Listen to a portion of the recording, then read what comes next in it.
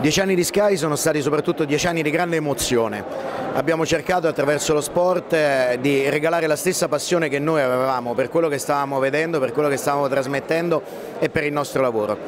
Se siamo riusciti a fare qualcosa l'abbiamo fatto perché è la nostra anima che ha parlato e credo che questo sia molto importante. Quando riesci a trasmettere le tue emozioni, a farle diventare anche le emozioni di tutti, sei riuscito probabilmente a lavorare nella giusta maniera, ma dieci anni sono il passato, quello che conta poi sono i dieci anni che verranno e i dieci anni che verranno saranno ancora di più, dieci anni di grande emozione con lo sport e non solo.